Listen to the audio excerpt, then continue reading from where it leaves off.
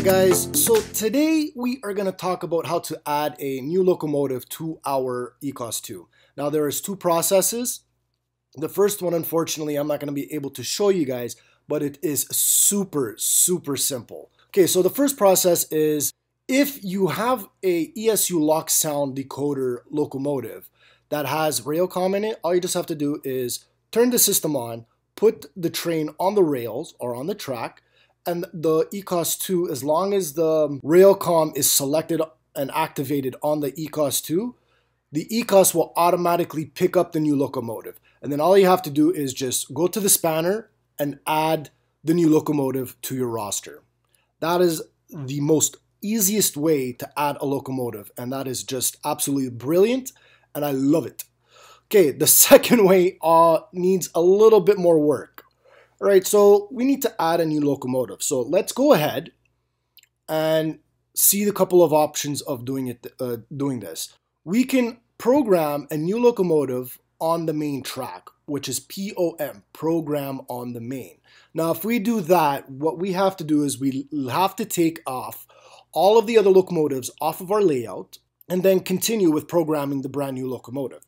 If we don't do that, whatever we program onto the new locomotive, any locomotive that is on your layout that's on the main will be programmed to what's going on with the new locomotive. That's the last thing you want to do, especially if you have like say 20 locomotives, then you have to start uh, like do the procedure all over again.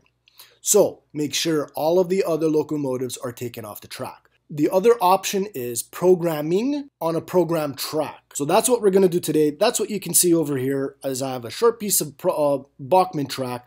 This is hooked up to the programming track and this is how we're going to upload the RDC-2 to the ECOS 2. All right, so first thing we want to do is turn on power. Next, we're going to go over to the spanner here and then go to new loco. Create manually. You can create from database if you already have it in there, or you can go ahead and create manually. We are going to create manually. Okay, so the next thing I do before changing anything over here, I go to advance. Over here, what I do is I get the ECOS to go ahead and read the decoder. Uh, there's a couple of benefits uh, of doing this. When you come over here to your drive settings, you can't really do much over here, especially with your function mapping. And if you have sound with your sound mapping, sound settings either, like you don't have any access. By going ahead and having your ECOS read the decoder, you'll end up having access to all that. So let's go ahead and read the train.